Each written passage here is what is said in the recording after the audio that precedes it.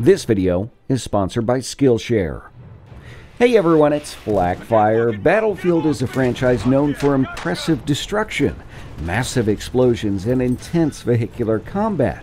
But it's also known for something else audio. DICE has an incredible team of sound designers and technicians that pour their talents into getting some of the most immersive and compelling sounds in video games. For today's video, we're going to dive into some of the best sounds in Battlefield.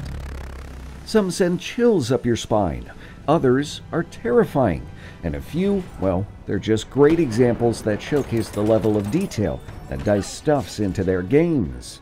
If you're interested in this behind the scenes kind of stuff, then you've got to check out Skillshare and the incredible class on virtual filmmaking by another creator, Cinematic Captures. The course digs into everything from finding assets to building a virtual camera rig. Everything you need to get started in creating your own awesome trailers. Skillshare also has tons of other courses focusing on topics like social media management, YouTube strategy, and of course, things like audio production. The first 1,000 people to use my link in the video description will get a free trial of Skillshare Premium membership. So, go and explore something today. Again, check them out with the link in the video description.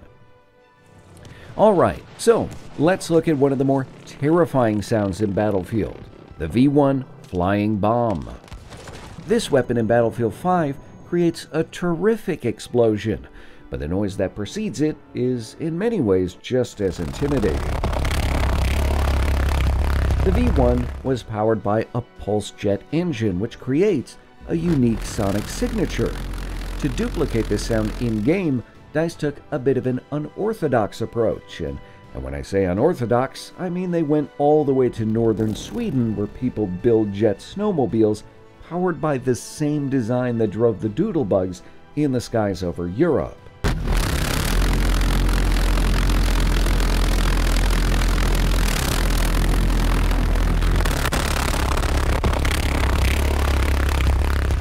Well, you can't argue with the results. This unique approach allowed DICE to accurately recreate the audio of the Vengeance weapon and get you as close to the real thing as you'd ever want to be.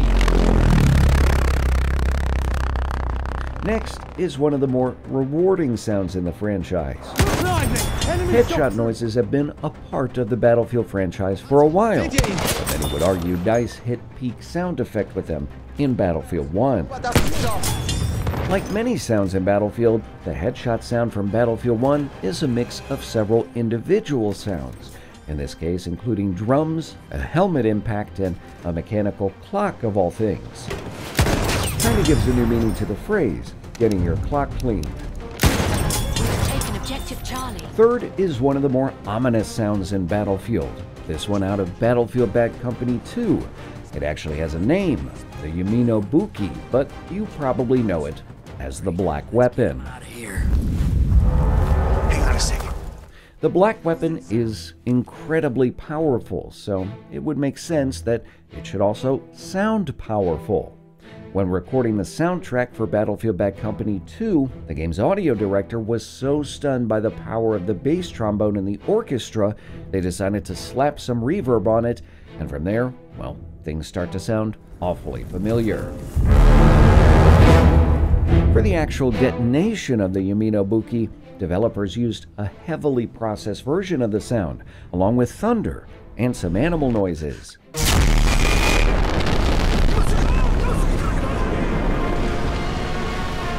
The bass trombone in many ways actually helps to create an identity for Battlefield Bad Company 2, and if you pay close attention, you'll actually hear it pop up in a few other places. For our fourth sound, let's jump back to Battlefield 1.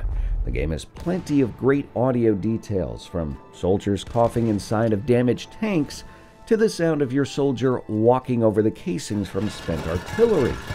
But one of my favorite has to be the charge sound after taking a sector in operations.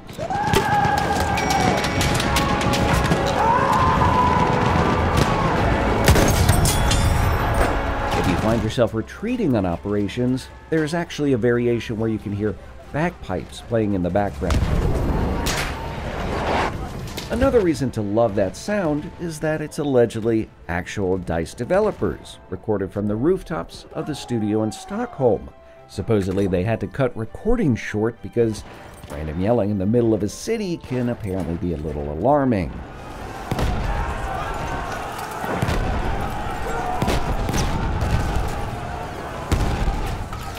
Lastly, you didn't think we'd go out without a bang, did you?